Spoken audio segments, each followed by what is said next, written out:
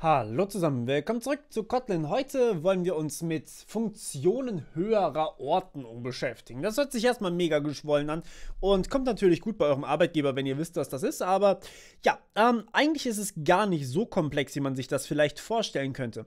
Und zwar ähm, ist es, bezeichnet das eigentlich bloß Funktionen, die entweder Funktionen zurückgeben oder Funktionen, die Funktionen als Parameter bekommen. So, selbst das hört sich noch mega komplex an, aber wir wollen uns beides mal angucken. Und eigentlich ist es wirklich nicht so schwer. Okay, ähm, zunächst einmal rufen wir hier mal einfach ähm, High, Higher Order Higher Order Function auf. Und das ist jetzt natürlich die Funktion höhere Ordnung, die wir erstmal noch schreiben müssen. So, diese Funktion können wir einfach generieren und das war eigentlich nicht mehr so äh, gedacht. Und ja, das ist eigentlich gar kein so großes Problem. So, jetzt wissen wir genau, was das hier tut. Nun, diese Higher Order Function bekommt jetzt eine Funktion als Parameter, okay? Das heißt, das hier drin ist einfach eine Funk, ja? Ich nenne sie jetzt einfach mal Funk. Und was die macht, ist folgendes. Das wissen wir im Endeffekt gar nicht, ja? Aber diese Funk, die hat natürlich einen gewissen Funktionstyp. Das heißt, die hat einen Typ und macht irgendwas damit. So, das heißt, wir erwarten in unserer Higher Order Function zum Beispiel eine Funktion, die ein a vom Typ int nimmt und ein b vom Typ auch int. Okay? Und selbst gibt sie dann zurück, das ist der Rückgabewert hier, also das ist alles nur diese Funktion, okay? Und zurück gibt sie einen Ne, sagen wir hier, sie nimmt einen Float und sie nimmt einen Float und zurück gibt sie im Endeffekt einen Int. So, ja, und dann haben wir ein bisschen Variation drin, dann muss ich nicht immer die ganze Zeit dasselbe benutzen. So, und das beschreibt jetzt den Typ der Funktion. Das sieht jetzt erstmal super komplex aus, ist aber eigentlich gar nicht so schlimm. Im Endeffekt steht hier der Parameter, äh, Parameter, Entschuldigung, der Parameter von Higher Order Funk nennt sich Funk, klein geschrieben. Und dieses Funk ist eine Funktion, die zwei Float-Parameter verwendet und einen int zurückgibt. Okay? So, das ist jetzt erstmal so der Gedanke hinter diesem Parameter. Natürlich können wir hier auch noch ein a bekommen vom Typ int. Das ist gar kein Problem, okay? Und dann sagen wir hier drin zum Beispiel, wir wollen Funk aufrufen. Das heißt, wir kriegen ähm, Value Result ist gleich Funk. Achtung, wir können jetzt Funk quasi aufrufen, als wäre es eine Funktion, die wir uns innerhalb dieser Funktion hier definiert haben. Also quasi so, ja. War Funk, äh, Funfunk natürlich, meine ich. Funfunk, ähm, die äh, benutzt dann ein A, wobei eigentlich können wir das kopieren, ne? Ein A vom Typ Float, ein B vom Typ Float und sie gibt mir ein Int zurück. So, und da sollte natürlich eine Klammer weniger sein. So, und die gibt mir einfach hier 42 zurück. Beziehungsweise, nee, sie gibt mir a plus b. Und das selbstverständlich gerundet einfach zurück. Okay? So, das ist jetzt im Endeffekt das, was wir hier haben wollen. Ähm, stimmt, Problem ist natürlich hier, wenn wir Round aufrufen, dann gibt das einen Float zurück, weil, ähm, ja, ich meine natürlich Punkt 2int. Ähm, kann einen Float zurückgeben, weil hier NAN und sowas rauskommen kann bei Round, aber im Endeffekt rundet uns das, das ganze Ding einfach in einen Integer.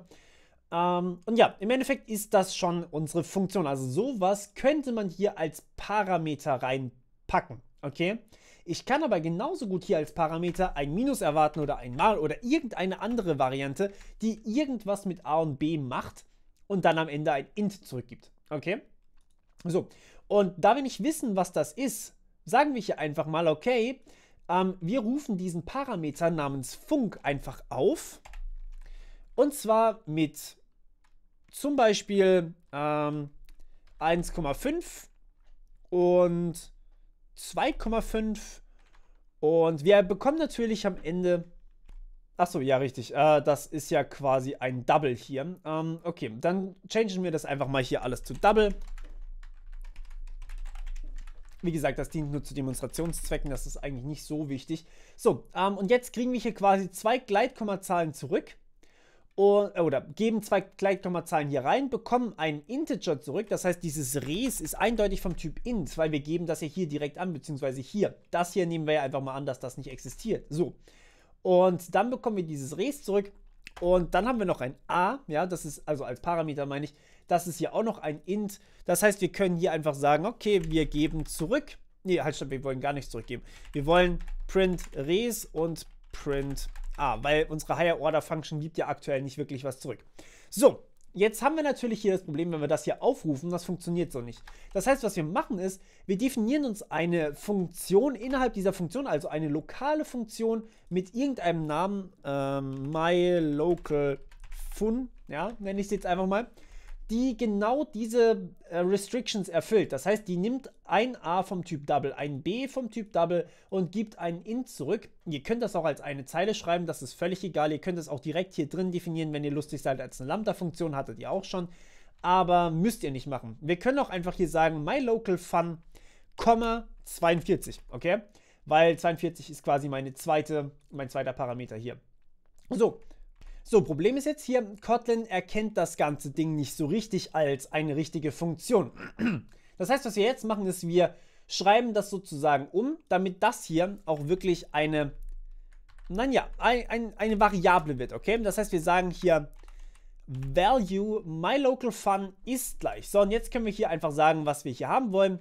Und nun ja, ähm, hier kann man jetzt zwar dieses Doppelpunkt int nicht mehr direkt angeben, aber wir können hier einfach sagen, okay, bild das mal ab auf das da. So.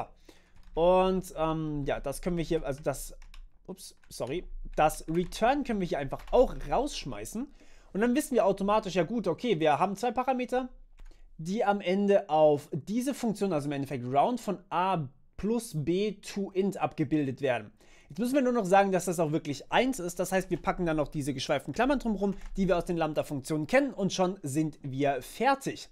Das heißt, wir haben jetzt hier, das ist im Endeffekt jetzt keine Standardfunktion mehr, sondern eine, naja, eben doch eine Lambda-Funktion. Es tut mir sehr leid. Aber ja, ähm, im Endeffekt ist das jetzt eine Lambda-Funktion und die können wir so groß machen, wie wir wollen. Im Endeffekt ist die Schreibweise exakt gleich, ja. Ich kann hier noch sehr, sehr viel mehr machen. Äh, ich kann dann noch irgendwas printen. So, print äh, Hallo Welt und dann kann ich hier, ähm, ah, hier wird mir sogar angegeben, das ist quasi der Lambda-Ausdruck, hier wird returned, okay? Das heißt, ich kann hier auch von mir aus sogar sagen, value res ist gleich das da und dann kann ich hier einfach res angeben. So, und dann ist das da das, was eben im Endeffekt returned wird. Ähm, quasi das, wo wirklich nur ein Wert da steht, der wird dann zurückgegeben und das ist das Ergebnis von dieser Funktion. So, und diese Funktion, diese Lambda-Funktion im Endeffekt, die kann ich jetzt eingeben in meine Higher Order Function, die eben eine Lambda-Funktion verwendet. Die muss aber von der Signatur immer absolut übereinstimmen. Das heißt, wir müssen hier tatsächlich zwei Parameter haben, a und b, die beide vom Typ Double sind und am Ende muss ein Integer bei rauskommen. Sonst kann ich das hier nicht als äh, Ergebnis reinpacken. Das heißt, wenn ich das so mache, sehen wir hier, myLocalFun hat ein Problem, denn angefordert wurde, Double Double zu int. Ja, das ist das, was quasi die Funktion, äh, die Higher Order Function als Parameter möchte. Aber man hat gefunden Double Double zu Double, was bedeutet, ja gut, hier kommt ein Double raus und also in diesem MyLocalFun kommt ein Double raus und kein int. Und das liegt eben an diesem Round, das heißt, man muss hier eben das Ganze noch zu int konvertieren. So, und ja, dann kann ich das Ganze eigentlich laufen lassen, wenn ich das möchte. Ähm, und ja, dann kommt im Endeffekt das Ergebnis raus. Hallo Welt 442. So, ähm, im Endeffekt ist das das Result oder das Ergebnis von dieser Function hier. Und a ist der zweite Parameter, das ist dann diese 42 hier. Okay, das heißt, wir haben hier im Endeffekt 1,5 plus 2,5 gerechnet. Wir können hier natürlich auch einfach sagen, hey, ich möchte das Ganze minus machen. Ja, das geht genauso. Und dann bekommen wir minus 14 raus als Ergebnis von Res. Ne, Moment, minus 1 raus. Ich sollte das vielleicht als Printline schreiben, sonst wird das langsam, aber sicher unübersichtlich. Und das hier ist auch natürlich ein Printline. So, ähm, minus 1 bekommen wir dann raus. Wir können aber hier jede Funktion reinstecken, die irgendwas mit zwei Integern macht. Also die, die Berechnung ist völlig egal. Jetzt, wann ist sowas sinnvoll und kennt ihr sowas vielleicht sogar schon? Nun, Higher Order Functions habt ihr schon kennengelernt. Ihr habt zum Beispiel Map benutzt. Das heißt, ihr habt quasi eine Lambda-Funktion in diese Map-Funktion reingesteckt Und dort drin dann im Endeffekt, ja, wurde diese Funktion für euch ausgeführt. Und jetzt könnt ihr quasi selber solche Funktionen wie Map oder, oder eben Fold oder sowas schreiben. Und ja, das ist eigentlich ziemlich cool und ziemlich mächtig. Das heißt, dieses naja, es ist nicht wirklich schön anzusehen. Man kann es in den allermeisten Fällen noch anders lösen, aber es ist sehr elegant. Das heißt, es ist, erfordert sehr, sehr wenig Code und dadurch ist es natürlich auch sehr schnell geschrieben, weil man sich eben nicht so viele Gedanken dann machen muss darum, wenn man das mal verinnerlicht hat. Deswegen würde ich euch empfehlen, das Ganze so ein bisschen zu probieren, zu üben. Es fördert auch nochmal so generell das Verständnis von eigentlich dem ganzen Code hier. Und ja, das war's von meiner Seite. Wir hören uns beim nächsten Mal. Bis dann. Ciao.